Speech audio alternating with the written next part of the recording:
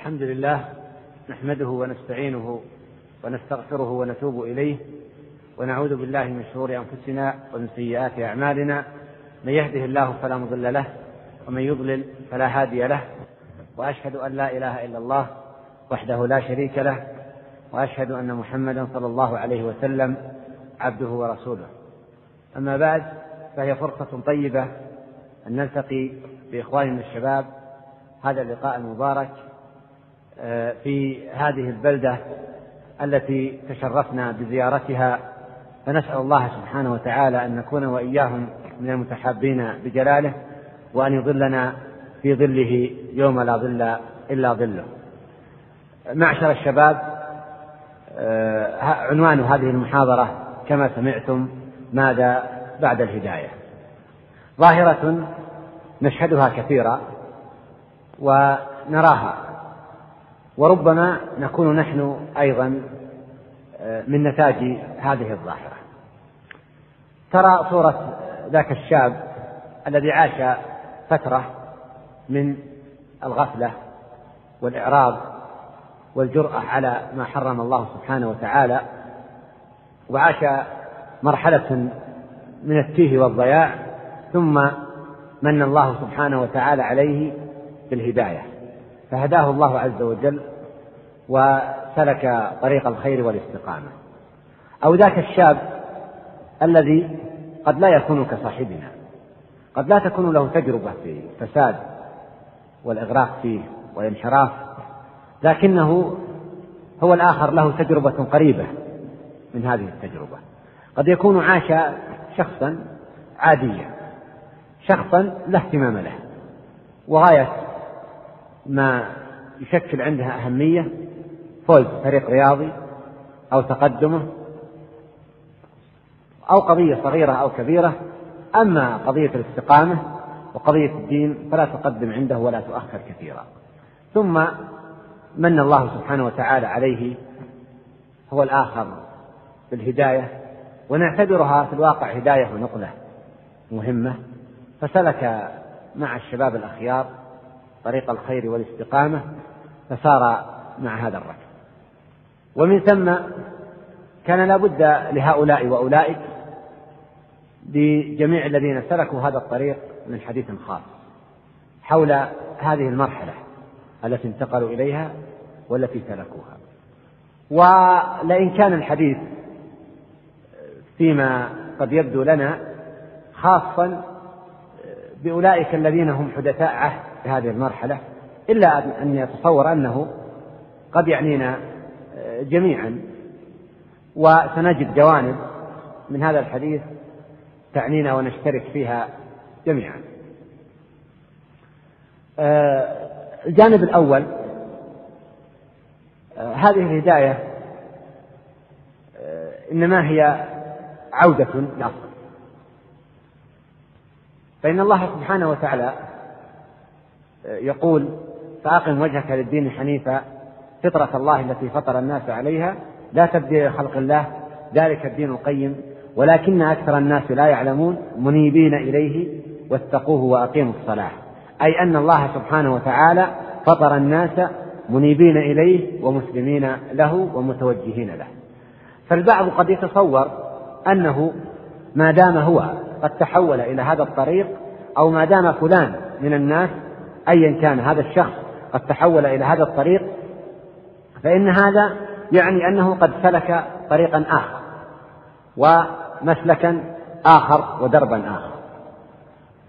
أه ولكن نحن نقول إن هذا الشخص إنما عاد إلى الأصل وعاد إلى المسار الطبيعي الذي كان ينبغي أن يسير فيه الذي كان هو عليه أصلا.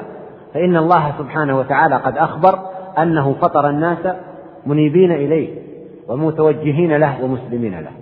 ونلمس هذا المعنى أيضا واضحا بل قد يكون بصورة أدل وأقوى في الدلالة من قول النبي صلى الله عليه وسلم فيما يرويه عن ربه يقول خلقت عبادي حنفاء فجاءتهم الشياطين فاجتالتهم عن ذكر الله عز وجل فحرمت عليهم ما أحللت لهم. إذا الجميع خلق أصلا على هذا الطريق. وخلق في هذا المسار. ثم جاءته الشياطين فاجتالته فأخذ المسار الآخر فعندما يهتدي الذي يحصل باختصار أنه عاد إلى الأصل ولم يسلك طريقا آخر. عاد إلى الأصل الذي كان المفترض أن يسلكه الذي كان هو عليه وخلق عليه. وكما قال صلى الله عليه وسلم ما من مولود يولد إلا على الفطرة حتى يعجم عنه لسانه. فأبواه يهودانه أو ينصرانه أو يمجسانه.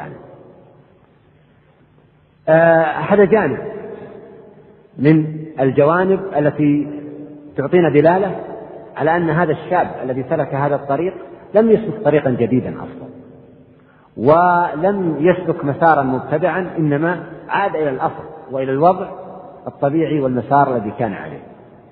جانب آخر أيضا آه، أخرج خارج المدينة وتأمل فيما أمامك. تجد الجبال والأشجار ومظاهر هذا الكون وارفع نظرك إلى السماء فترى السماء وترى النجوم وترى ما فيها وحينئذ سيبدو لذهنك مباشرة تتذكر قول الله عز وجل ألم ترى أن الله يسجد له من في السماوات ومن في الأرض والشمس والقمر والنجوم والجبال والشجر والدواب وكثير من الناس وكثير حق عليه العذاب. إذا فترى هذا الكون أمامك بكل ما فيه تراه يسجد لله سبحانه وتعالى. يسجد له عز وجل.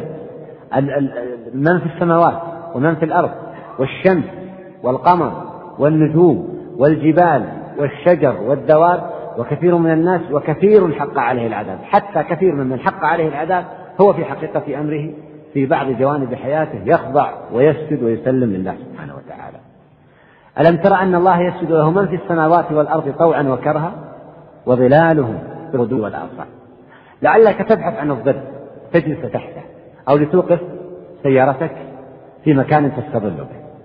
ثم تتذكر فعلا هذا الظل الذي يمتد ويعود مرة أخرى ويرجع فتراه في الصباح يبدأ ينقص يتناقص ثم في المساء يبدأ يزيد. ألم تر إلى ربك كيف مد الظل؟ ولو شاء لجعله ساكنا ثم جعلنا الشمس عليه دليلا.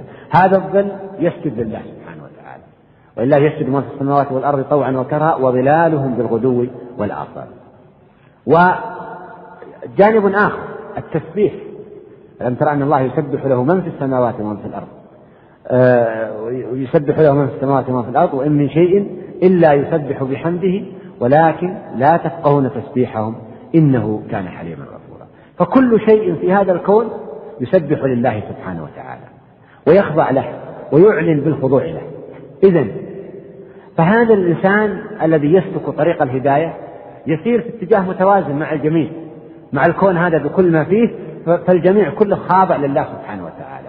أما الشخص الآخر الذي يسلك طريق الغوايات والمعصية فإنه يسير في طريق معاكس للجميع. وإن كان يتخيل له هو أنه باعتبار أن أن الغالب الناس آه، الضلال والإعراض وإن تطع أكثر من ذلك الضلوك عن سبيل الله يتصور هو أنه يسير مع التيار الواقع أنه هو المعاكس للتيار. فهو بدءا بعباد الله الصادقين المنيبين معاكس بالطريق الذي هم عليه وبعد ذلك انتهاء بكل هذا الكون العريض بكل ما فيه. حتى مثلا ذاك الظل الذي هو يستظل تحته لأجل المعصية أو المكان الذي يختبئ فيه ليعصي الله سبحانه وتعالى. هذا المكان يسبح لله. هذا المكان يسجد لله سبحانه وتعالى. هذا يخضع لله. حينئذ عندما تدرك هذه المعاني تشعر أنك أنت أنت اللي تسير على الجادة. ولو كنت وحدك. افترض أنك وجدت في مجتمع وفي مكان أصبحت أنت الوحيد أنت الغريب فلم فلست الغريب في الحقيقة. إنما الغريب هو ذاك الذي عصى الله سبحانه وتعالى. لك أيضا مع هذا امتداد تاريخي ليس لغيره لك امتداد تاريخي عريض بآدم ونوح وتلك القرون التي كانت بين آدم ونوح عشر قرون كانت على الإسلام وأنبياء الله سبحانه وتعالى وكل من أسلم لأنبياء الله وتابعهم وسار وراءهم كل هؤلاء يعتبرون امتداد تاريخي لك أنت فأنت من خلال الواقع الذي تعيشه من خلال الفطرة التي فطر الله الناس عليها من خلال هذا الكون الفسيح أمامك من خلال هذا الامتداد التاريخي الذي ليس لأحد إلا لك أنت أنت وحدك الذي تسير على الجادة. لست أنت وحدك بشخصك إنما بمنهجك. فالآن عندما عدت إلى الهداية لم تسلك طريقا آخر إنما عدت كنت أنت قد انحرفت بك الجادة والمسار فعدت إلى الطريق الصحيح. وهي قضية قد تبدو لك لأول وهلة أنها يعني قضية جدلية فلسفية بحتة لا. فرق بين إنسان يشعر أنه سلك طريق آخر وبين إنسان لا يشعر أنه عاد إلى ما كان ينبغي أن يسير عليه أصلا. عاد ليعيش في توائم مع هذا الكون كله. إذا فأنت عندما اتخذت هذا القرار سرت وفق المسار الذي اختاره الله سبحانه وتعالى لك الذي وجدت أصلا لأجل أن تسير على هذا الطريق. وجدت لعبادة الله سبحانه وتعالى للخضوع له والتسليم له. ثانيا الفضل لله وحده. قد تتساءل بعد فترة فتقول آه، وفقت سلوك هذا الطريق؟ نتيجة قدرات عقلية يعني إنسان عاقل أنا متزن. إنسان أملك قدرة التفكير أو فلان أو أو غير ذلك فتبدأ تحلل بعض الأسباب التي أدت بك إلى العودة إلى الطريق الصحيح. وتنسى السبب الأساس والأهم هو فضل الله سبحانه وتعالى وحده. وهي قضية يجب أن تتصورها. وأن لا تغيب عن بابك فهي من باب الاعتراف بالفضل لأهله. فالله سبحانه وتعالى يقول لنبيه صلى الله عليه وسلم ولولا فضل الله عليك ورحمته لهمت طائفة منهم أن يضلوك. وما يضلون إلا أنفسهم وما يضرونك من شيء. وأنزل الله عليك الكتاب والحكمة وعلمك ما لم تكن تعلم وكان فضل الله عليك عظيما. إذا النبي صلى الله عليه وسلم كان محتاجا إلى فضل الله وإلى رحمة الله وإلى توفيق الله ليصرف الله سبحانه وتعالى عنه كيد أولئك الذين هموا أن يضلوه وأبونا إبراهيم الذي سمانا المسلمين كما قال الله سبحانه وتعالى في كتابه يقول وهو يدعو ربه قال فلما رأى القمر بازغا قال هذا ربي. فلما أفل قال لئن لم يهدني ربي لأكونن من القوم الضالين. لئن لم يهدني ربي لأكونن من القوم الضالين. فإبراهيم غير مستغن عن هداية الله سبحانه وتعالى وتوفيق الله عز وجل له. والله سبحانه وتعالى يقول في الحديث القدسي يا عبادي كلكم كلكم ضال إلا من هديته فاستهدوني أهلكم. إذن فأنت ما لم تستمد الهداية والتوفيق من الله سبحانه وتعالى فأنت في ضلال وفي خسران والنبي صلى الله عليه وسلم. أيضا يصور لنا آه، حقيقة هذا الإنسان. ومدى قدرته على التحكم في نفسه أو مدى قدرته على الاستغناء عن مولاه سبحانه وتعالى. فيقول إن قلوب العباد بين أصبعين من أصابع الرحمن يقلبها كيف شاء. ومفهوم تقليبها هذا مفهوم واسع ما هو مفهوم ضيق. فنحن نفهم مثلا هذا الحديث أن أن هذا الحديث خطاب لمن كان مستقيما على على الخير والطاعة أنه ممكن ينحرف هذا كلام صحيح ومدلول صحيح لكن العكس أيضا. حتى الإنسان الفاجر العاصي يمكن أن يقلب الله سبحانه وتعالى قلبه فيتحول إلى خير رجالات هذا الدين بعد أن كان من أسفق الناس وأسوأهم. ويقول صلى الله عليه وسلم في الحديث الآخر لقلب ابن آدم أشد تقلبا من القدر إذا استجمعت غليان افتح القدر بعد ما يغلي. تشوف كيف يغلي. قلب ابن آدم أشد تقلب. إذا من الذي يقلب؟ هو الله سبحانه وتعالى. يا أيها الذين آمنوا استجيبوا لله وللرسول إذا دعاكم لما يحييكم واعلموا أن الله يحول بين المرء وقلبه وأنه إليه تحشرون. فالشاهد إذا أننا يجب أن ننسب الفضل لأهله وأن نعرف أن المتفضل الأول والأخير هو الله سبحانه وتعالى بدءا بالهداية الأولى أن بين لنا هذا الحق. فإن الله سبحانه وتعالى عندما أرسل للناس الرسل وأنزل لهم الكتب هذه هداية. فقد قال سبحانه وتعالى عن ثمود وأما ثمود فهديناهم فاستحبوا العمى على الهدى.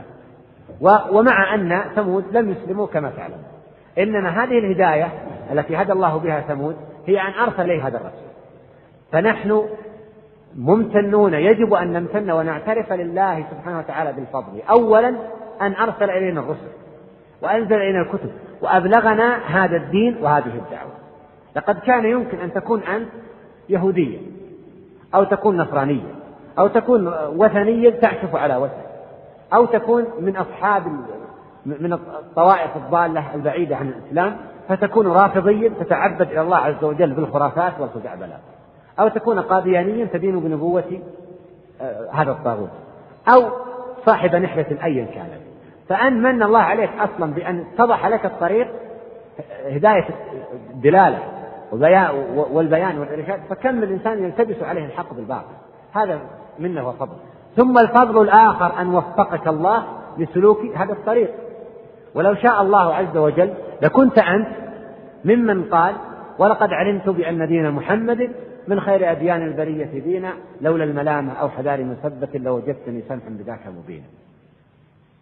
عندما قال هذه الأبيات ومات وهو يردد هذه الأبيات فمات على ملة عبد المطلب. من هو القائل؟ من هو قائل الأبيات السابقة؟ أبو طالب. تعرفون أنتم أبو طالب عم النبي صلى الله عليه وسلم. الذي عنده قناعة تامة ولقد علمت بأن دين محمد من خير أديان البرية دين وأيقن بهذا الحق لكنه لم يسلك هذا الحق. ومع ذلك كل ما بذل من جهد في في حماية النبي صلى الله عليه وسلم والذب عنه صحيح أنه خفف عنه عذاب الله عز وجل لكنه بقي في النار خالدا. ولا يمكن أن أمثال هؤلاء أن يدخل الجنة حتى يسلم لله سبحانه وتعالى. أقول حتى مع وضوح الحق يبقى التوفيق لسلوك الحق أيضا هي منة أخرى لله سبحانه وتعالى. فيجب أيها الأخوة أن نستحضر هذه القضية دائما وتستحضر أنك إذا وفقت لأداء عبادة من العبادات أو وفقت لتوبة صادقة أو وفقت لعمل صالح أن تعرف أن صاحب الفضل أولا وأخيرا هو الله سبحانه وتعالى. ولا أحد أحب إليه الثناء من الله سبحانه وتعالى كما قال صلى الله عليه وسلم ولا أحد أغير من الله عز وجل. قد يكون فلان من الناس كان له فضل بأن دعاك أو نصحك أو أيا كان جانب من جوانب أثر عليك نعم. ويجب أيضا أن تعرف للناس حقهم ومن لا يشكر الناس لا يشكر الله. لكن يبقى أن أثني عليه وهداني الله على يديه وأدعو له وأذكره بكل مكان ومجلس لكن لا ينسيني أيضا هذا المتفضل الأول اللي هداه أصلا هو ابتداء ثم وفقني أنا أيضا بقبول ما يقول. فقد يدعوني فلان ويقول ويبدئ ويعيد لكنه لا إذا لم يوفقني الله عز وجل فلا يمكن أن أستجيب. أرأيت أبا طالب؟ كيف فعل النبي صلى الله عليه وسلم معه؟ ما فعل ومع ذلك لم يوفق لسلوك هذا الطريق؟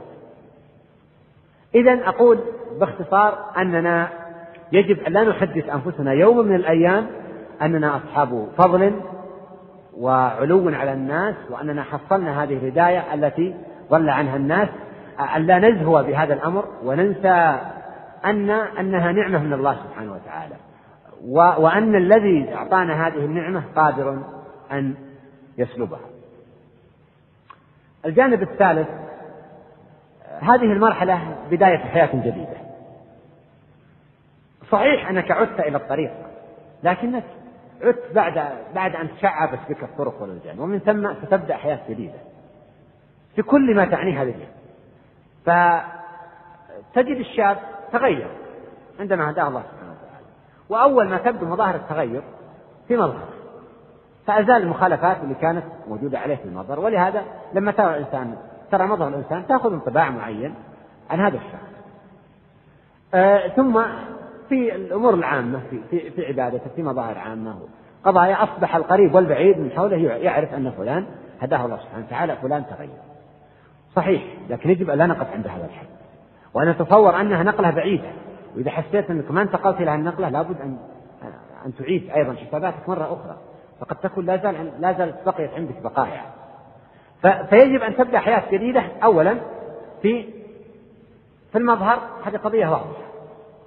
والدليل على هذا أنك مجرد أنك ترى الإنسان يمكن تاخذ تصور عنه تقول هذا فلان مستقيم أو هذا فلان ما أرتاح له من خلال المظهر. صحيح أن المظهر ليس كل شيء لكن أيضا يعطي دلالة دلالة واضحة آه، نلمسها جميعا نحن وضرورة نجدها في أنفسنا. لكن أيضا مع ذلك هناك تغيرات يجب أن تحصل لديك وإذا ما حصلت لابد أن أن تعيد النظر فيها.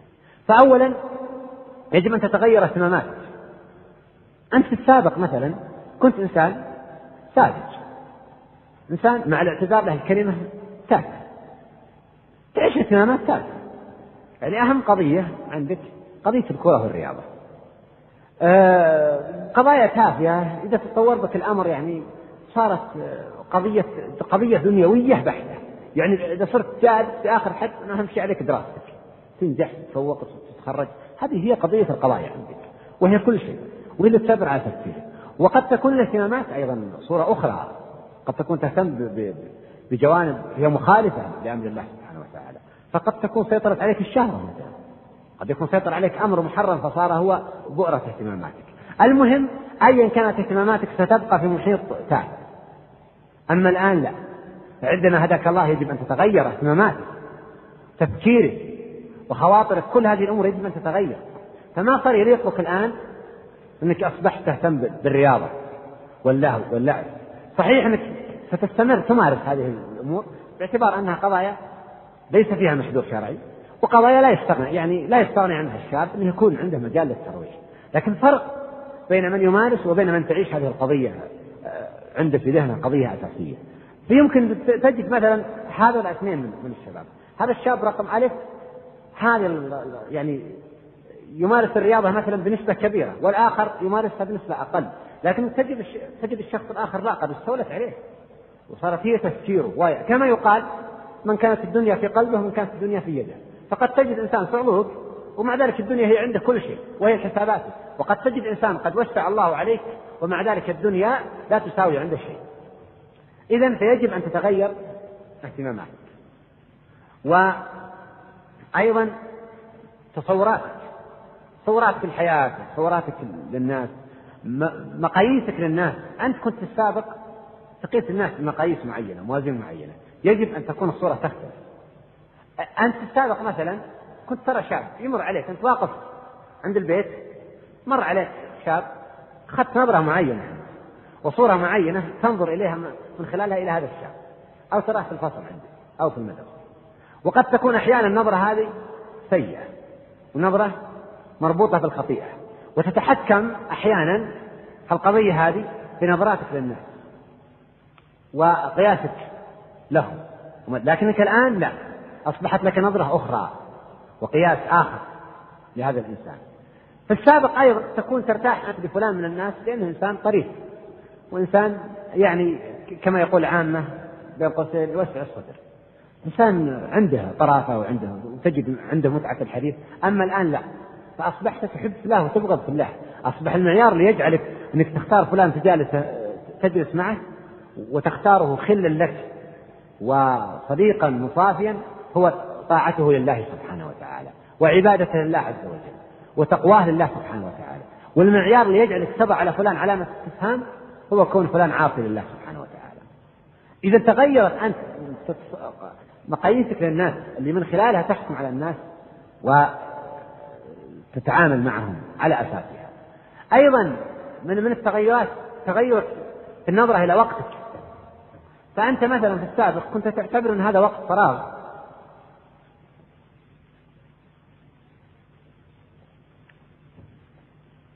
كنت تعتبر هذا وقت فراغ. تريد تتخلص منه بأي صورة؟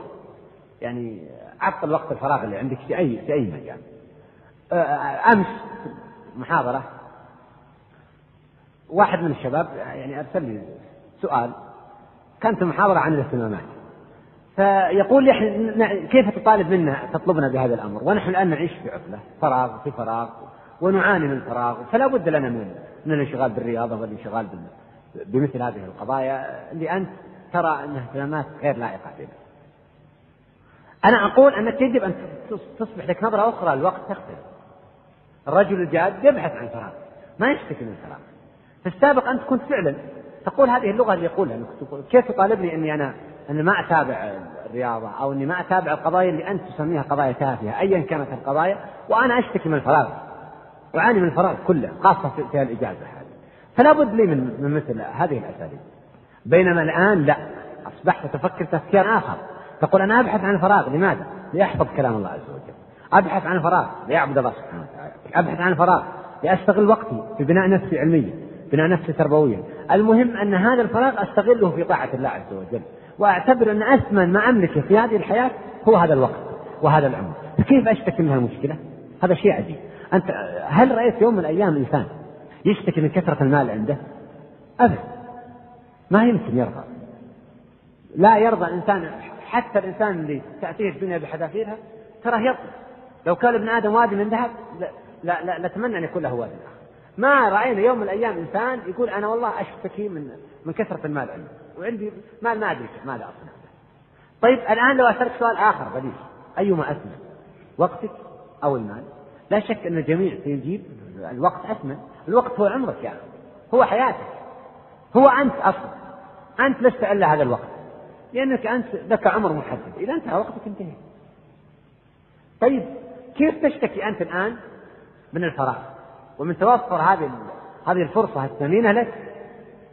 في مقابل أنك لا يمكن أن تشتكي يوم من الأيام من المال أو من غيره من الإمكانات. وأنت لما نسألك أيما أثمن لديك الوقت أو المال قلت لي لا. بل ترى الناس يبذل من ماله حتى يحافظ على وقته.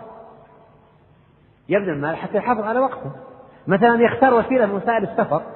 أحيانا يريد يسافر بالطائرة ليش؟ عشان يوفر وقت يدفع مال لأمر معين لأجل أن يوفر لنفسه الوقت فقط لا أقل ولا أكثر. وهذا لا شك أنه تصور صحيح وسليم ويجب أن يكون عندنا هذا الشعور أن نعتني بأوقاتنا. الآن أنت عندما دخلت عدت إلى المسار الصحيح فصارت لك نظرة أخرى للوقت تختلف عن نظرة الآخرين. ونظرة لاستغلال الوقت تختلف عن نظرات الآخرين. المهم أنه باختصار عندما عدت إلى هذا الطريق فإنك بدأت مرحلة جديدة. صحيح لا لم تسلك طريق جديد لكن مرحلة جديدة بعد تلك المرحلة اللي قضيتها. فيجب أن تتغير تصوراتك ومفاهيمك وأفكارك ووقتك وسلوكك ونظرتك للناس. كل هذه الأمور يجب أن تعيد فيها النظر من جديد. على ضوء هذا الخطوة الجديدة التي سلكتها وقد تقول لي أني قطعت أنا مرحلة. لي سنوات في المرحلة وما أشعر بهالقضية هذه. ممكن عندك خلل. صحح الخلل. ولهذا قلت أن هذا الموضوع قد يعنينا جميعا ولو كنا لسنا في بداية الطريق لا يعني إلا من كان في بداية الطريق. النقطة الرابعة لابد من التربية. فليست القضية الآن قرار اتخذته وانتهيت. الآن هي بداية لمراحل أخرى. فالبعض يتصور أن ألقى العبء الآن بعدما تاب وأقبل على الله عز وجل وترك الماضي أنه انتهى. صحيح أنه خطأ الخطوة التي تسهل عليه ما بعدها لكن أيضا سيبقى يحتاج إلى التربية. يحتاج إلى التربية ليزيل عنه رواتب الماضي. فستبقى رواتب عالقة في الماضي. ما هو صحيح أنك أنت الآن كنت على الخط هذا ومباشرة قفزت إلى الخط الثاني وانتهيت. انتقلت نقلة هائلة بكل ما فيها. لا. سيبقى عندك رواتب. مثلا أضرب لك مثال. مثال بسيط وإلا الرواتب أبعد من هذا المثال. تجد الشاب مثلا في الشارع. الشاب اللي في الشارع طبيعي الكلام البذيء عنده على الأقل. يعني كلام ساقط وغير لائق وبعدين هداه الله. وصار مع الناس الطيبين. هو متعود يلعب الكرة في الشارع. جاء مع الناس الطيبين. ميدان الكرة ميدان للأسف يبعث على الحماس. يستنفر منه حماس أكثر من لازم فمع الحماس يتفاعل الإنسان ما ما يملك. تجده تبدو منها أحيانا بعض العبارات يزل فيها. ولا زال حديث عهد. وهذا وضع طبيعي. أصحاب النبي صلى الله عليه وسلم لما يقول أبو واقد الليثي كنا مع النبي صلى الله عليه وسلم أو خرج النبي صلى الله عليه وسلم إلى حنين ونحن حدثاء عهد بكفر. يعني هم مسلمين الآن لكنهم جديدين في على الإسلام. وبناء عليه بقيت عندهم رواسب قال ف وللمشركين شجرة ينطون بها أسلحتهم ويعلقونها عليها فتنادينا من جنبات الوادي. فقلنا يا رسول الله اجعل لنا ذات أنواط كما لهم ذات أنواط لا لا يزال عندهم هذا الرأي. يأتي مثل الشاب هذا اللي هو حديث عهد الآن. أحيانا تبدو من فلتات في اللسان. يغضب يبدو منه. ليش؟ لا تزال عنده بعض الرواسب حتى يتخلص منها. قد قد يكون هذه القضايا يتخلص منها سريعا لكن تبقى قضايا في الداخل تحتاج إلى مرحلة. يعني مثلا في السابق كان قد يكون مثلا يتابع أفلام كثير أو يتابع برامج التلفاز أو صور مجلات أو المهم إنه يعني يتابع هذه القضايا اللي تشعل عنده تؤجج عنده نار الشهوة في قلبه. فبقيت القضية هذه عنده عندما تاب. وأقبل إلى الله عز وجل وسلك هذا الطريق فتبقى بعض رواتب الماضي وصور الماضي تتحرك أمامه ومن ثم يحتاج إلى التربية ليزيل كل هذه الرواتب التي جاء بها من خلال الطريق السابق أو المسار الذي كان قد انحرف إليه. وأيضا تحتاج إلى التربية لتكون معينة لك بعد توفيق الله عز وجل على الثبات على هذا الطريق. فإن القضية كما قلنا في البداية فضل وهداية من الله سبحانه وتعالى. كما أنها توفيق من الله عز وجل يمكن أن يسلب عنك هذا التوفيق. فقد تضل عافانا الله وإياك. بهذا كان النبي صلى الله عليه وسلم إذا سافر يدعو بدعاء آه، يدل على هذا المعنى من من يذكر هذا الدعاء كان يقول اللهم إني أعوذ بك من وعثاء السفر وكآبة المنظر وسوء المنقلب ومن ها يا شباب ما تسافرون أنتم؟ من يعرف باقي الدعاء؟ اللي له شاهد في الموضوع هذا عندنا اللهم اعوذ بك من عذاب السفر وكعبة المنظر وسوء المنقلب ومن ها؟ قلناها كعبة المنظر لا أنا أقول جملة لها شاهد عندنا هنا في الموضوع ومن الحور بعد الكور الحديث في في مسلم. ومن الحور بعد الكور ومعنى الحور بعد الكور الضلالة بعد الهدى التحول من الإيمان إلى الكفر أو من الطاعة إلى المعصية. فالنبي صلى الله عليه وسلم كان يستعيذ بالله من الحور بعد الكفر ومن الضلالة بعد الهدى. إذا عنايتك بالتربية تكون بعد توفيق الله عز وجل وسيلة لأن تجعلك تستمر وتثبت وسيأتي لها القضية. يعني مزيد توضيح في نقطة لاحقة. ثالثا أيضا أنت تحتاج إلى التربية لترتقي أنت. فيزيد إيمانك وترتقي في مراتب الخير والصلاح. فتحتاج إلى التربية لتزيد إيمانك. بالله عز وجل. فالإيمان يزيد وينقص كما تعلمون. تحتاج إلى التربية أيضا تعطيك رصيد علمي جديد فيزيد علمك وتحصيلك. تحتاج إلى التربية أيضا لتضبط سلوكك وأخلاقك مع الناس. تحتاج للتربية للتخلص من أخلاق وجوانب قصور في نفسك. المهم أنك تحتاج إلى التربية لترتقي بنفسك. ولا يزال المرء مهما كان حتى ولو تحول لأنه هو يؤدي دور المربي فهو لا يزال يحتاج إلى التربية. إذا باختصار لا بد من التربية. لا بد من التربية وسلوكك هذا الطريق يعني أنك تبدأ أيضا قضية أخرى. هم آخر هو هم التربية. حتى تعلو وترتفع وستستمر تطالب تطالب تربي نفسك حتى تنتهي من هذه الحياة. آه الجانب الخامس سؤال يطرح كثيرا كيف أتعامل مع الماضي؟ يعني كان لك ماضي سابق فكيف تتعامل مع هذا الماضي؟ هناك عدة نقاط حول الماضي. القضية الأولى أن بعض الشباب يكون تجارب سيئة. كان يفعل معاصي وخطايا فيتحدث بها مع زملائه. ومع الناس. وهذا مخالف لقول النبي صلى الله عليه وسلم كل أمة معافى إلا المجاهرون. وإن من المجاهرة أن يعمل الرجل العمل بالليل فيستره الله سبحانه وتعالى فيصبح فيقول يا فلان عملت كذا وكذا. بات يستره الله عز وجل ويكشف ستر الله عليه. فالنبي صلى الله عليه وسلم هنا يخبر أن الأمة معافاة للمجاهد لأن الإنسان اللي ما يجاهد أبعد التوبة. والناس لا يدرون ما عنده. فيتوب ويقبل على الله عز وجل. وما لكن الإنسان اللي اللي جاهر بالمعصية أولا الإنسان مستخف بالمعصية. فقد يعاقبه الله فيصرف عن التوبة. ثم أيضا هذا الإنسان المجاهد صار تاريخه مكشوف أمام الناس. صار صعب عليه أنه يتخذ قرار التوبة والعودة إلى الله عز وجل. فأقول بعض الشباب يتحدث عن الماضي. بما فيه؟ أنه كان يفعل كذا وكان يفعل كذا وفعل كذا. وهذه لها أخطاء أو لا من أولها أن أنها مجاهرة. والنبي صلى الله عليه وسلم أخبرنا المجاهرة أنها ليست المجاهرة هي إعلان المعصية. وإن كانت هي مجاهرة فعلا ومن أكبر وأشنع صور المجاهرة الإنسان أمام الناس يفعل المعصية لكن قال وإن من المجاهرة أيضا صورة قد يتصور بعض الناس أنها ليست مجاهرة. أن يعمل الرجل العمل بالليل فيستره الله عز وجل فيكشف ستر الله عليه. فيقول يا فلان فعلت كذا وكذا. أنه وقع في معصية في الليل أو في النهار المهم أنه لا يعلم عنها الناس. وقد سترها الله عز وجل عليه فيبدأ يتحدث بها عن الناس عند الناس. أيضا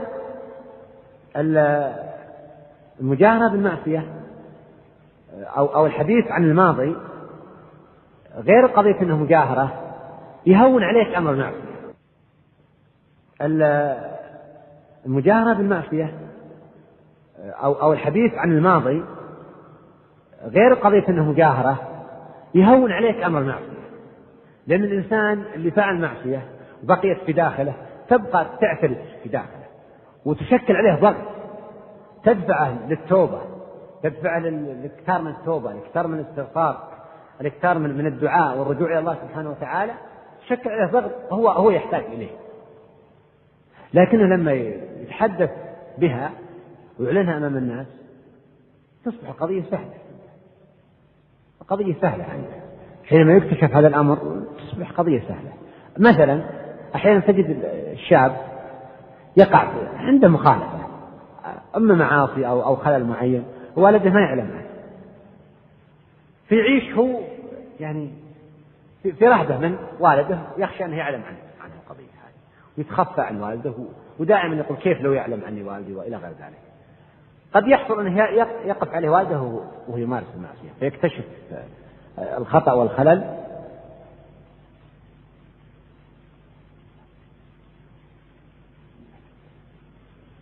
فيكتشف والده مثلا القضية هذه خلاص تنتهي القضية عند عند الأب. يصبح أحس أنه مكشوف صار يمكن يجاهل يعني مثلا واحد دخل والده ما يعلم إنه يدخن بعد فترة اكتشف والده إنه يدخن خلاص.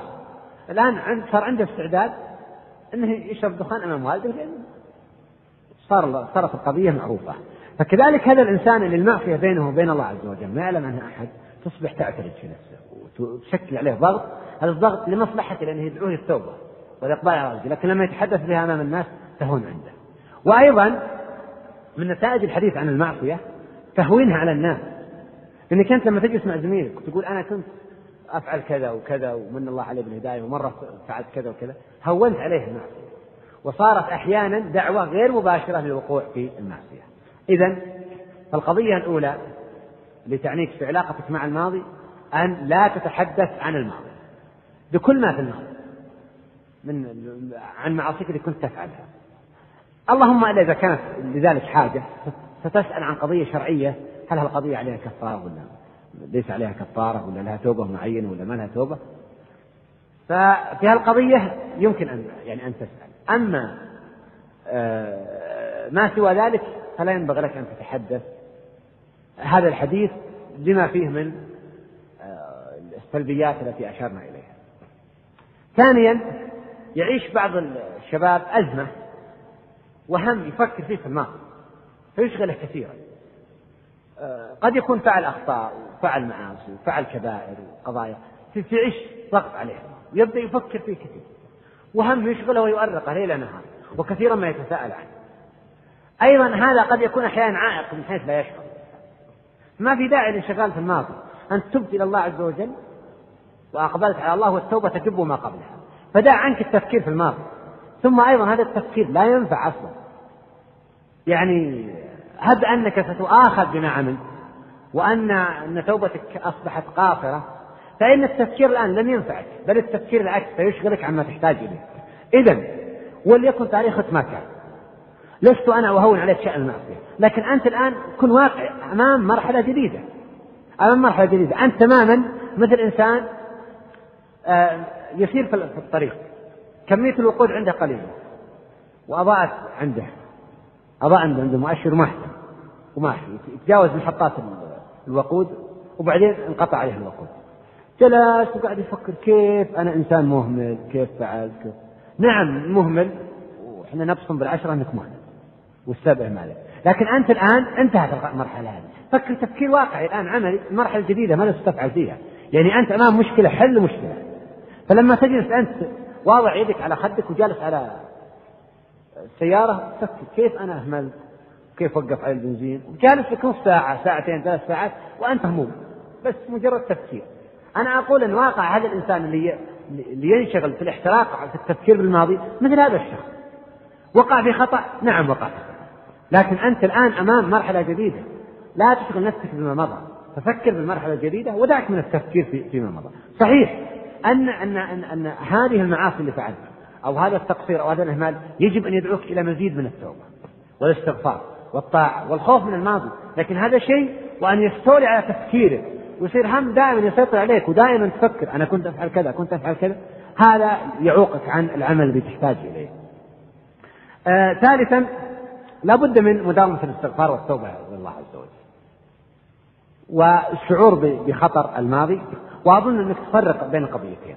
بين التفكير المزعج اللي اللي تفكر فيه في الماضي وبين التوبة والإقبال والخوف من شؤم الذنب. هذه قضية وتلك قضية أخرى. هذه قضية واجب. وينبغي أن تكون هم يؤرقك أنك تتوب وتستغفر وتخاف من ذنوبك. لكن لما الآن أنت تتذكر الماضي تذكر كنت فعلت كذا وكذا ومريت في الطريق ورأيت هذا المكان اللي فعلت فيه هذه المعصية وهذا المكان اللي ذكرك بفلان وذكرك بكذا وكذا هذا ما يدعوك إلى أن يصير هم تفكر فيه. لا. خلي هالموقف هذا يدعوك إلى عمل صالح. تكفر عما مضى. يدعوك إلى استغفار إلى توبة. بدل من أن يكون مجرد يعني تفكير وهم يزعجك أكثر مما يكون عملا منتجا. رابعا وهي نقطة مهمة يجب أن تتخلص من متعلقات الماضي. كان في الماضي عندك أشياء تدعوك إلى هذا. صور مثلا أفلام ولا مواقف معينة قضايا كانت تشدك وتجذبك إلى المعصية. وتجذبك إلى الماضي يجب أن تتخلص منها وتكون حازم مع نفسك. حازم مع نفسك كما قال النبي صلى الله عليه وسلم. في الحديث لما قال إياكم والجلوس في الطرقات. قالوا يا رسول الله ما لنا منها بد. مجالسنا. قال فأعطوا الطريق حقه. قال وما حق الطريق؟ قال غض البصر. الآن لاحظ هنا النبي صلى الله عليه وسلم ما أمر بغض البصر ابتداء. لا أمر بأن لا يجلس الإنسان في الطريق أصلا. يعني الإنسان يقطع على نفسه كل طريق للمعصية إذا جلست في الطريق لا محالة فغض البصر. مع أن هذا الخطاب كان موجه لأصحاب النبي صلى الله عليه وسلم في ذاك المجتمع النظيف ذاك المجتمع الذي كانت المرأة تلتصق فيه في الحائط حتى تؤثر في الحائط كما ورد في الحديث. إذا فكل هالقضايا هذه اللي تشدك للماضي تخلص منها. تخلص منها كلها لأنها يمكن يوم من الأيام تعيدك. فتكون أنت في حالة ضعف فيقوى عندك هذا الدافع فتهوي والكثير من الشباب الذي يصاب بالحور بعد الكور أو الانتكاسة والضلال الكثير السبب هو هذه القضية. هو بعض رواسب الماضي. من رواسب الماضي القضية الخامسة وهي الأصدقاء أصدقاء الماضي. أصدقاء الماضي يجب أن تتعامل معهم بصورة أخرى غير الآخرين. فأحيانا الشخص له صداقات أيام غفلته وأيام إعراضه. وهؤلاء الأصدقاء طبعا يعرفون تاريخه. يعرفون تفاصيل حياته. ويعرفون عنه كل شيء. هذا جانب. والجانب الثاني يعرفون نقاط الضعف لديه. المهم أنه من أكبر نقاط الضعف عند الشاب أصدقاء الماضي اللي يشدونه ويجرونه المعصية. إما أن إذا رآهم تذكر المعصية وقد يشتاق إليها أو إذا رآهم حن إلى الماضي بما فيه أو أن هؤلاء يضغطون عليه. فهم يعرفون تاريخه ويعرفون ما عنده ويعرفون نقاط ضعف عنده يمكن أن يضغط عليه من خلالها يعرفون كيف يفكر ويعرفون متى يرجع ومتى يرغب ومتى يرهب ومتى يخاف إلى غير ذلك. الشاهد أن أن من أكبر العوائق أصدقاء الماضي ومن ثم لابد من التخلص أيضا من أصدقاء الماضي. ويجب أن تكون تحذر من أصدقائك في الماضي أكثر من غيرك لأن حتى الآخرين اللي يمكن يكون أكثر فساد أقل تأثير عليك من من من أصدقاء الماضي، أصدقاء الماضي يعرفونك أصلا ويعرفون دواخلك ويعرفون ما عندك. و آه، سؤال هنا كثيرا ما يطرحه الشاب، يعني يقول هل أدعو مثلا أصدقائي؟ أنه يرتبط معهم بحجة أنه يريد أن يدعو، وهذا شعور طيب أن الإنسان يشعر أنه لما من الله عليه بالهداية أن أولى الناس ببره وإحسانه ودعوته هم الناس اللي كانوا قبل أصدقاء الغفلة لكن في في قضية أخرى. وهي أن هالدعوة هذه قد تتسبب لك أنت في أن تجذب وتنجذب إليه. لأنهم كما قلت يعرفون أسرارك يعرفون علاقاتك السابقة يعرفون نقاط الضعف عندك فقد يكون وسيلة إلى جر الكلام. ولهذا فأنا أرى أنك لا تدعو أصدقاء المال وينشغل بهم غيرك. ثم أنا ما أتصور أن, أن وصلنا إلى المرحلة اللي ما عاد بقي ناس يحتاجون الدعوة إلا العشرة هذول أو الخمسة عشر اللي كانوا أصدقاء لك في الماضي المجتمع مليء. والمجتمع اللي حولك مليء بالناس اللي ممكن أن يستهلكون كل جهدك وطاقتك وبرامج الدعوة والخير كثيرة هي الأخرى ستستهلك كثير من طاقتك ووقتك. فما يعني لم تعد أنت ضرورة قاصرة عليك أنت حتى تدعوهم. ثم نحن ما قلنا هؤلاء محرم الدعوة ليدعوهم غيرك لأن ارتباط الشاب بهؤلاء قد يكون سبب في في عودته إلى ما كان عليه. إذا يجب أن تقطع علاقتك بالماضي. في التفكير المغرق في الماضي وما كنت عليه. وإذا أتاك تفكير تحوله إلى شيء عملي مباشرة إلى عمل صالح أو توبة أو استغفار يكون النتيجة أما مجرد التفكير والهم هذا لا يقدم ولا يؤخر. الانقطاع عن الماضي رواتب الماضي بما فيه الانقطاع عن الماضي أصدقاء الماضي الجوانب اللي تجلبك وتشدك إلى أن تحن إلى الماضي وتعود إليه. آه سادسا كن على حذر. من الضلالة بعد الهدى والحور بعد القول التي أشرنا إليها قبل قليل. وهي نقطة يجب أن تكون هاجس للجميع. أن يكون هاجس فدائما يسأل الله سبحانه وتعالى الثبات ودائما يخشى من هذه القضية يخشى أن يحال بينه وبين هذا الطريق. يخشى أن يختم على قلبه. أليس النبي صلى الله عليه وسلم كان كثيرا يقول يا مقلب القلوب ثبت قلبي على دينك؟ كان يقول اللهم رحمتك أرجو. فلا تكلني إلى نفسي طرفة عين؟ اللهم أرني الحق حقا وارزقني اتباعه. وأرني الباطل باطلا وارزقني اجتنابه. ولا تجعله ملتبسا عليه. وكان يدعو في سفره كما ذكرنا الدعاء السابق. كلما سافر السفر يذكر القلب يعني الإنسان لما يسافر يتغير من حال السفر من حال الإقامة إلى حال السفر. بكل ما فيه ما فيه يعني حياة السفر متغيرة. فيذكره هذا هو كان مقيم على حال مستقر عليه فتغير في السفر. فيذكره بالقضية الأساس والأهم هو أنه كان مستقيما على هذا الطريق فيخشى فيخشى أن يحال بينه وبينه يا أخي إذا كان الرسول صلى الله عليه وسلم يدعو الله أن يثبت إذا كان السلام يخشى من الحور بعد الكور إذا كان النبي صلى الله عليه وسلم يقول له ربه سبحانه وتعالى يقول له ولولا أن ثبتناك لقد كدت تركن إليهم شيء قليلا. يحتاج إلى تثبيت الله ويحتاج إلى توفيق الله وإعانة الله سبحانه وتعالى فغيره من باب أولى. الرسول صلى الله عليه وسلم يأتيه الوحي ويعبد الله عبادة حقه. تعينه وتثبته على طاعة الله عز وجل. ومن أعلم الناس بالله. أما نحن فلنا شأن آخر وحياة أخرى ولنا جوانب كثيرة تشدنا إلى طريق الضلال وإلى طريق الشهوات. عافانا الله وإياكم. فمن ثم فنحن أولى أن نخشى. والنبي صلى الله عليه وسلم يقول فوالذي نفسي بيده إن الرجل ليعمل بعمل أهل الجنة حتى ما يبقى بينه وبينها إلا ذراع فيسبق عليه الكتاب. فيعمل بعمل أهل النار فيدخلها. وإن الرجل ليعمل بعمل أهل النار حتى ما يبقى بينه وبينها إلا ذراع فيسبق عليه الكتاب فيعمل بعمل فيعمل بعمل أهل الجنة فيدخلها. فأقول يجب يا أخوة أن يكون هذا هاجس لنا. هاجس لنا لكنها أيضا يقودنا مرة أخرى إلى عمل. لا يكون مجرد قضية تفكير. فأن نكون دائما على حذر من من هذه القضية. وهذا يقودنا إلى إلى دعاء الله دائما. وأسأل الله الثبات والنبي صلى الله عليه وسلم قد علمنا أن ندعو الله عند السفر. قد علمنا أن ندعو الله عز وجل يا مقلب القلوب ثبت قلب قلوبنا على دينه. قد علمنا أن نسأله الهداية وأن نستهديه دائما والثبات على هذا الطريق. وقد علمنا أن نسأل الله أن لا يكلنا إلى أنفسنا طرفة عين فإنه سبحانه وتعالى لو وكلنا إلى أنفسنا فإن هذا يعني الضلال والخسارة.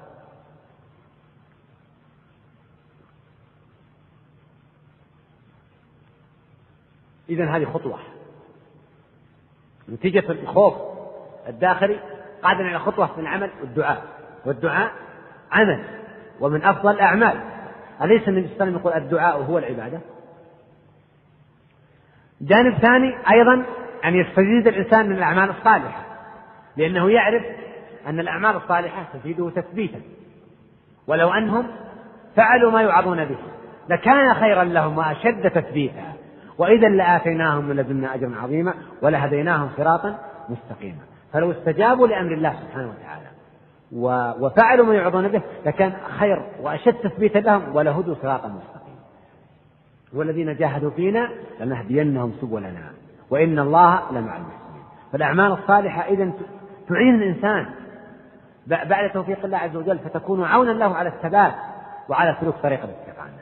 إذا هذه خطوة ثانية أيضا.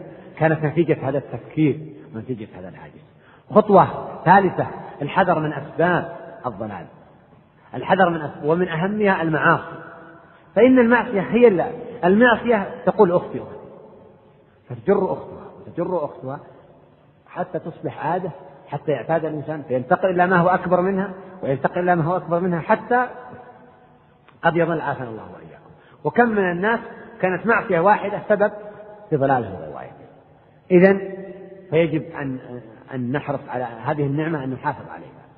وقديما كان كان يقال المحافظة على النصر أصعب من الحصول عليه. وهذه القضية ليست عبارة كروية كما نستعملها ويتبادر الذهن. هذه يقصدون بها النصر العسكري. فالإنسان يمكن أن يحقق نصر وينتصر في معركة لكنه لكنه أن يحافظ على هذا النصر هذه قضية صعبة. أنا ممكن أستجمع قواي وطاقتي كلها وأحقق انتصار حاسم. لكن أحافظ على هالنصر وعلى هالموقع اللي حققته هذه قضية صعبة. فكذلك أيضا أنت يجب أن لا يكون همك كما أن القائد مو همه فقط تحقيق النصر بالمحافظة عليه. أنت يجب أن لا يقف تفكيرك عند الحد هذا أني أنا الآن خلاص استقمت تجاوزت مرحلة. لا يجب أن تشعر أنك محتاج أنت إلى الثبات وإلى البحث عن أسباب الثبات. وعوامل الثبات حتى تسلكها لعل الله أن يوفقك إليها.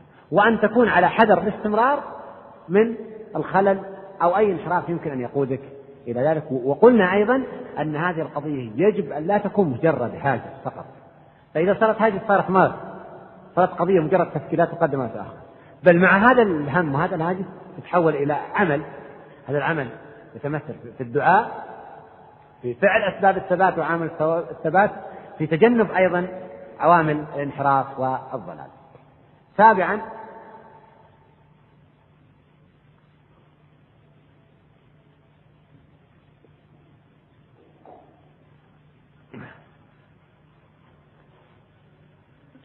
سابعا آه، سؤال كثيرا ما يطرحه بعض الشباب أو شكوى يشتكي منها.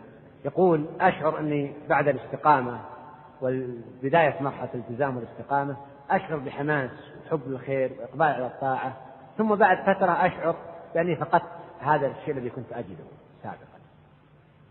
ويعتبر أن هذه مرض قضية خطيرة.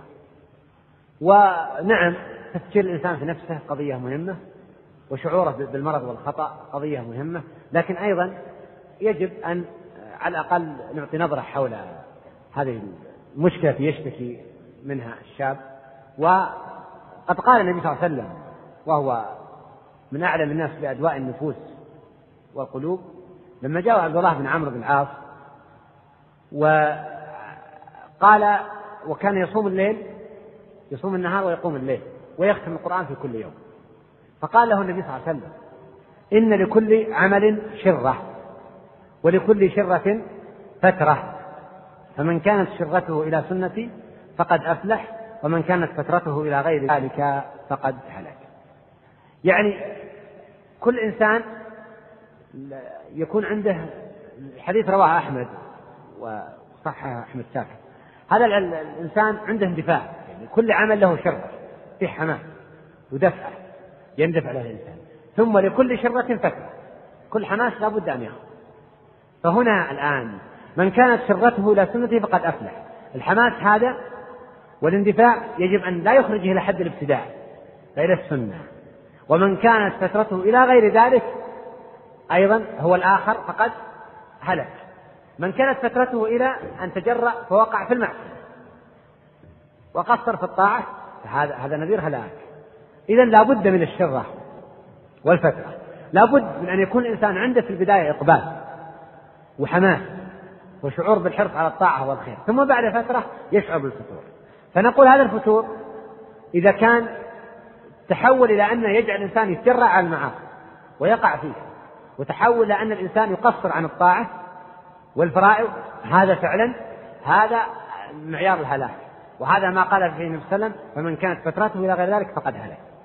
أما إذا كانت هذه الفترة ضعف في يعني في المشاعر الداخلية وضعف حماس لبعض السنن وبعض أعمال الخير المندوبة فالقضية لا مناص منها فإنه كما قال صلى الله عليه وسلم لكل عمل شرة.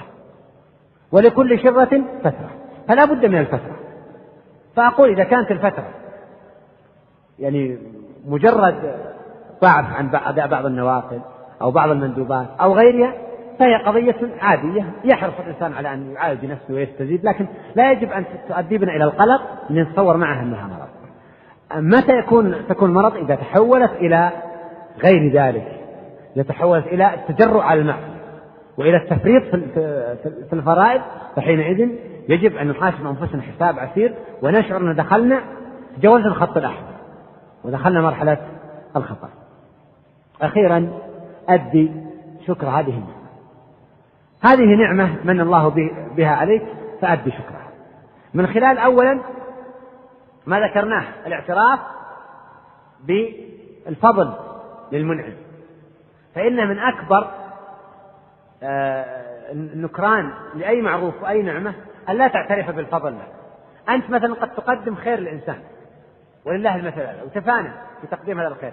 فقدمت له الخير هذا وبعدين يقول أنت ما سويت شيء وما قدمت له شيء تشعر أن هذا أكبر نكران يمكن أن يقوم به. قد لا تطلب منها أحيانا جزاء ولا شكور. لكن لما تشعر أنه قد أنكر جميلك فأنت تشعر أن هذا عدم وفاء. كذلك ولله المثل الأعلى الله سبحانه وتعالى لا أحد أحب إليه الثناء من الله عز وجل. فيجب أن تعترف أولا اعتراف داخلي بقلبك وبلسانك أن تعترف أن صاحب الفضل والنعمة والمنة هو الله سبحانه وتعالى. ثم الحمد والثناء باللسان أن تحمد الله بلسانك وتثني عليه فالله يحب الثناء ولهذا أثنى على نفسه. ولا أحد أحب إليه الثناء من الله سبحانه وتعالى. ثم أيضا خطوة ثالثة بعد الاعتراف وبعد الحمد والثناء الخطوة الثالثة أن تسعى في نقل هذه النعمة للآخرين بالدعوة والنصح والتوجيه وأن تقول الآخرين ها أنا الآن أنا عشت تلك التجربة وها أنا سلكت هذا الطريق ومن الله علي بسلوك هذا الطريق والعودة إليه فهلم إلي. فأنا أنتم جربت ما أنتم عليه. وجربت هذا الطريق وبكل ما فيه واقتنعت قناعة تامة أن الحق هنا. فهلم إلي؟ هذا مثل إنسان تماما؟ يعني أنت سائر تريد مدينة من المدن يعني واحد هنا ما يعرف المنطقة. يريد يذهب مثلا من هنا إلى الرأس. أو إلى بريدة. وبعدين قابل واحد قال يا أخي أنا ترى جاي مع الطريق هذا هذا ما يوصل. هذا الطريق ما يوصل الطريق من هناك. فهو مباشرة سيستجيب له. فأنت كذلك يمكن أن تقول للشاب ماذا تريد؟ أنا سلكت كل ما سلكته أنت لكن ما وجدت النتيجة. الشاهد أن من شكر الله عز وجل لنعمة الهداية أن يسعى الإنسان لنقلها للآخرين. من خلال النصيحة والدعوة ومن خلال حتى أحيانا استخدام تجربته السابقة فيقول أنا كنت على مثل ما أنت عليه وما وجدت والله اللذة ولا وجدت الطمأنينة ولا السكون ولا الراحة إلا في هذا الطريق الذي سلكته.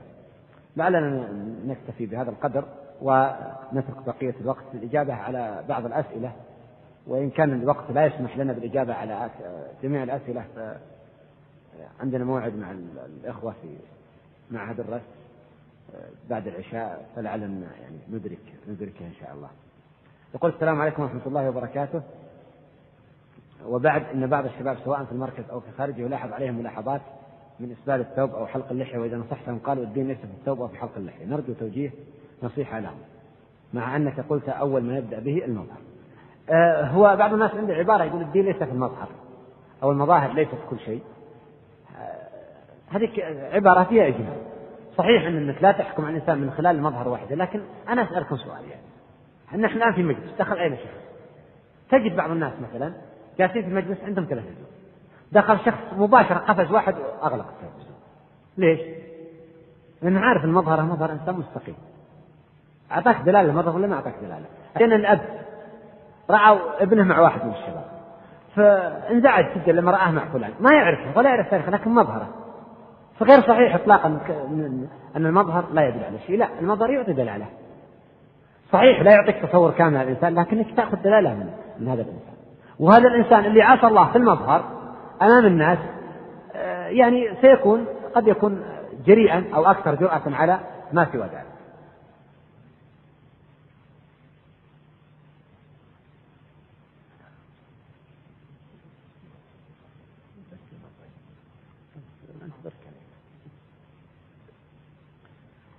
فهذه قضية مثلا غير صحيحة أن أنه لا عبرة بالمظهر. فنحن نجد في أنفسنا أننا نأخذ دلالات أنك ترى إنسان تأخذ قناعة تصور أن هذا الإنسان مظهره يعطيك دلالة معينة. يمكن يعطيك دلالة أحيانا على الإنسان هذا خفيف العقل. هذا إنسان ما عنده نبوة هذا إنسان متسم طبيعي جدا. وهو ما تكلم بكلمة واحدة. آه هذا شيء. والشيء الثاني أن هذه واجبات شرعية. ما في مجال للنقاش. ما في مجال نقاش ما دام إن هذا محرم شرعا لا يجوز لك أن ترتكبه وما دام إن هذا واجب شرعا يجب أن تعمله. وما كان لمؤمن ولا مؤمنة إذا قضى الله ورسوله أمرا أن يكون لهم الخيرة من أمرهم. ومن يعص الله ورسوله فقد ضل ضلالا بينا فلا مجال للنقاش في أي حكم شرعي ما دام قد نص عليه الشرع ما في مجال للاعتراض عليه ولا النقاش. يقول أنا شاب لا أخشى ولا أخاف أني أنتكس بعد هداية. وحين أدعو بالدعاء الوارد لا أستشعر أنني من الممكن أن أعود وأرجع إلى طريق الضلال. فما رأيكم؟ هذا خطأ لا شيء وهذا دليل على على الإعجاب بالنفس والغرور. يا أخي الرسول صلى الله عليه وسلم يحتاج إلى التثبيت. كيف أنت ما تحتاج أنبياء الله عز وجل. هل تتصور أنت النبي صلى الله عليه وسلم كان يدعو بالدعاء هذا عبث مثلا؟ لم يقل أعوذ بك من الحور بعد الكور أم أنه كان يرى أنه بحاجة إلى إلى إلى هذا الدعاء؟ ولعلكم تذكرون جميعا عبارة السلف في النفاق ما خافه إلا مؤمن ولا أمنه إلا منافق فنعوذ بالله من أن نأمن من مكر الله. ونعوذ بالله من أن يصل بنا الإعجاب بالنفس إلى هذا الحد إلى أن يتصور الإنسان أنه قد جاز القنطرة وأقول إذا وجدنا هذا في أنفسنا فيجب أن نشعر أن هذا مرض عاني أرأيت أصحاب النبي صلى الله عليه وسلم؟ أليسوا كانوا يخافون من النفاق ويخشون كما يقول ابن أبي مليكة؟ كلهم يخاف النفاق على نفسه كل الذين أدركهم من أصحاب النبي صلى الله عليه وسلم كان يخاف النفاق على نفسه ما فيهم أحد يقول إيماني كإيمان أبي بكر وعمر. فما بالنا نحن لا نخشى على أنفسنا. يقول أنا شاب مستقيم أعمل بعد الصالحات والحمد لله كحفظ القرآن وغيره لكن كما لا يخفى عليكم إنني كشاب لا أصبر عن بعض المعاصي فبماذا تنصحوني؟ لابد أن تجاهد نفسك. يا شباب يعني أحيانا نحن نريد أن نصل إلى مرحلة يريد الشاب أن يصل إلى مرحلة أنه ما يكون له أي داعي للمعصية وأن شهواته كلها تنقطع وهذا غير صحيح. هذه حكمة. يعني الله عز وجل ركب الشهوات فينا لحكمة. والشاب في المرحلة الشهوات عنده أقوى من غيره. ولهذا كان قال النبي صلى الله عليه وسلم سبع يظنهم الله في ظله يوم لا ظل قال وشاب نشأ في طاعة الله. لأن الشاب الشهوات عنده أقوى ودواعي المعصية أقوى والغفلة أقوى ولهذا إذا نشأ في طاعة الله كان يستحق أن يظله الله في ظله يوم لا ظل إلا ظله. فأقول أنك تتصور أنك تصل إلى مرحلة اللي ما تدعوك فيها شهوة إطلاقا هذا مستحيل. فلا بد منها ولا بد من مجاهدة. أليس النبي صلى الله عليه وسلم يقول حفت الجنة بالمكاره وحفت النار بالشهوات؟ ولما خلق الله الجنة قال لجبريل قال اذهب فانظر فيها. فنظر فيها فقال يوشك ألا يسمع بها أحد إلا دخلها. ثم أمر بها فحفت بالمكاره فقال يوشك ألا يسمع بها أحد إلا لم يدخلها؟ ثم خلق النار فقال اذهب فانظر فيها فنظر فيها فقال يوشك ألا يسمع بها أحد إلا لم يدخلها فأمر بها فحفت بالشهوات فقال يوشك ألا يسمع بها أحد إلا دخلها. الشاهد أنك لن تصل إلى هالمرحلة اللي ما تخشى فيها من المعاصي ولن تصل إلى المرحلة اللي ما تستغني فيها عن الجهاد. لا بد أن تجاهد نفسك ولا بد أن تعيش في صراع مريض مع الشهوات لكن هذه هي الحياة جهاد. ثم جاهد نفسك. وحاول إنك ما تترك المعصية فقط بل تتخلص من أسباب المعصية. والعوامل التي تدعوك إلى الوقوع في المعصية وأنت أعلم بنفسك. وأيضا لو وقعت في المعصية فتب إلى الله سبحانه وتعالى وأقبل إليه. آه يقول السلام عليكم ورحمة الله وبركاته. بعض الشباب هداهم الله. يتضايقون من ظاهرة انتكاس بعض الشباب الذين يلتزمون بالدين ثم ينتكسون، فما توجيهكم لهؤلاء الشباب؟ ثم ما هي أبرز أسباب الانتكاس التي ترونها؟ سبق أن تحدثت عن هذا الموضوع بالتفصيل في في محاضرة بعنوان الحوار بعد الكور، فيمكن الأخ أن يرجع إليها. يقول إذا كنت أعرف بعض الأصحاب قد ضل بعد أن كان مع الصالحين، فماذا أنصحه وأذكر به جزاكم الله خيرا. أيضا هذا حول الموضوع السابق تنصحه كما تنصح أي إنسان أن هذه المعصية خطر عليك.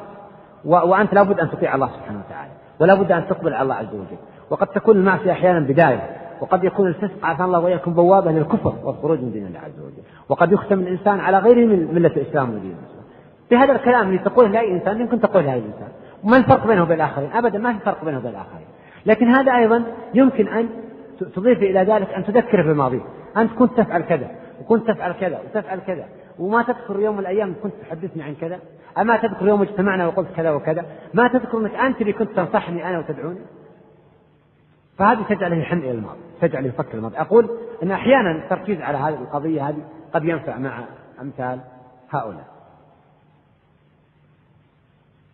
يقول أنا شاب رجعت إلى الله إلى الله ولي أصدقاء ليسوا صالحين وهؤلاء يعرفون أسراري وأحوالي.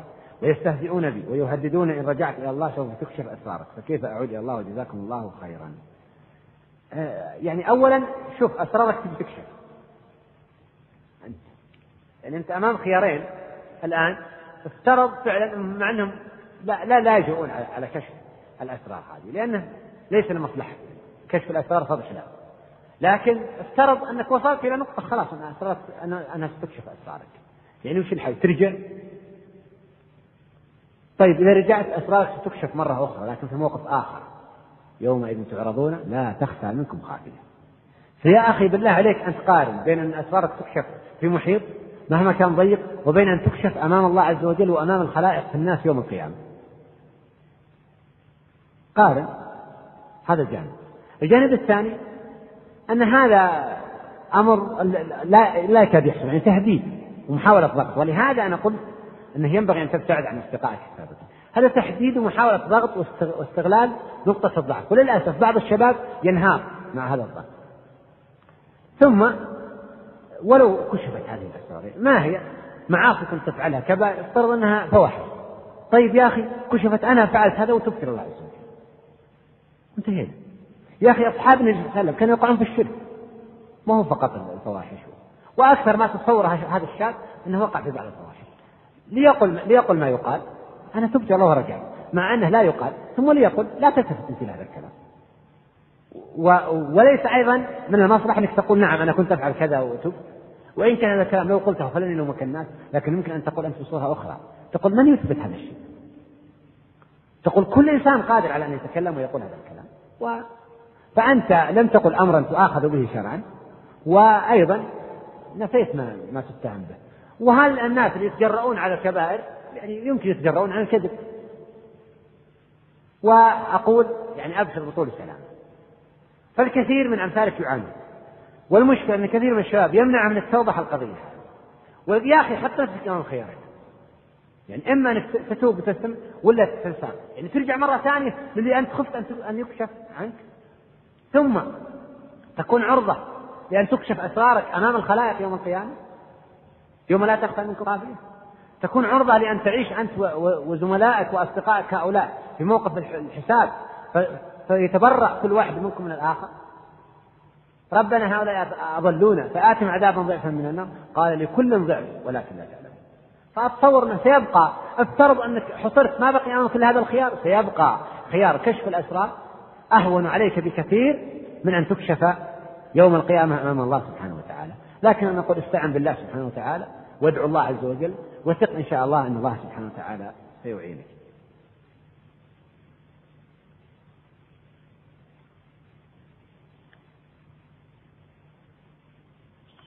آه يقول السلام عليكم ورحمة الله وبركاته. كان اهتمامي في الكرة والرياضة ككل وهداني الله بعد الالتزام. آه ولا يزال اهتمامي بالكرة باقي في نفسي إلى غير ذلك من السؤال. هذه آه يعني أجبنا على هذا السؤال في محاضرة الأمس ويمكن الأخوة يعني يجدونها فيما بعد في التسجيلات بعنوان الشباب والاهتمامات. أسأل الله سبحانه وتعالى أن يوفقنا وإياكم لطاعته وأن يجنبنا وإياكم أسباب معصيته وسخطه وأن يجعلنا وإياكم المتحابين بجلاله ويظلنا في ظله يوم لا ظل إلا ظله. وأشكر الإخوة الذين شرفوني بالحضور. لهذا اللقاء والحديث مع إخوان الشباب ونسأله سبحانه وتعالى أن يرزقنا العلم بما عملنا وصدق النية والإخلاص. هذا والله أعلم وصلى الله وسلم على نبينا محمد. سبحانك اللهم وبحمدك أشهد أن لا إله إلا أنت أستغفرك